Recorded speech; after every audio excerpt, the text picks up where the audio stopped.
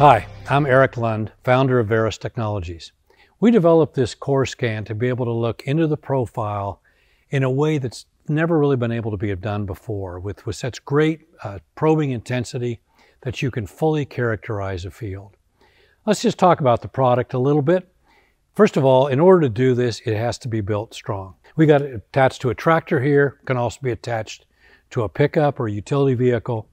It's controlled by a set of controllers that uh, have Bluetooth data transmission capability to a tablet that's logging the data, has a built-in GPS.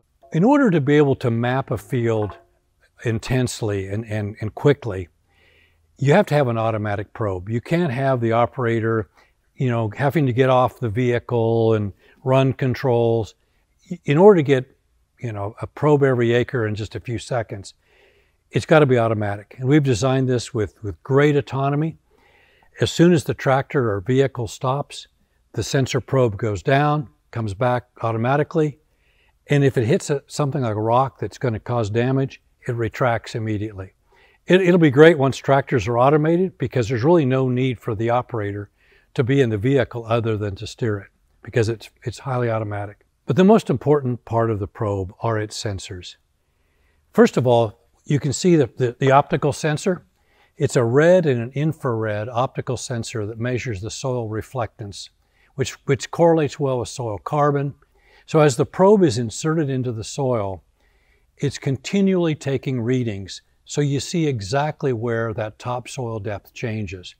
So if you're mapping carbon or your soil health, or you just want a good topsoil depth map to be able to do variable rate inputs based on, on productivity, a topsoil depth map is really something that's never been available before, but it is now with the CoreScan. It also has an EC tip, which measures uh, soil texture. So just like the optical sensor, it, it gets a complete lithology of the soil as, as you're inserting the probe. So where, where that sand lens is, where that clay pan, you see that with the conductivity probe. It's a penetrometer, so there's a load cell in it that measures compaction, measures insertion force.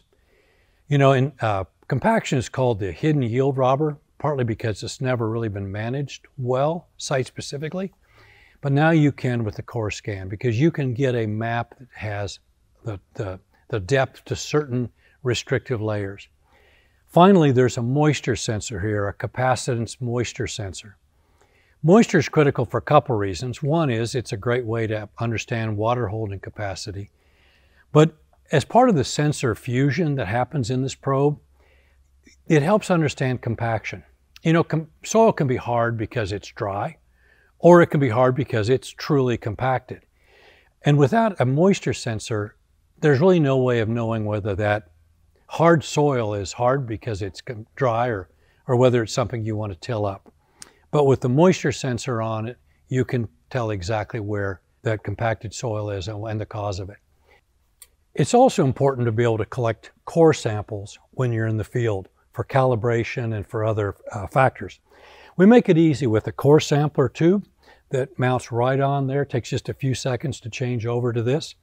We even include a sampler tray to allow you to quickly uh, remove the core and then segment it exactly where you want the segments to be analyzed.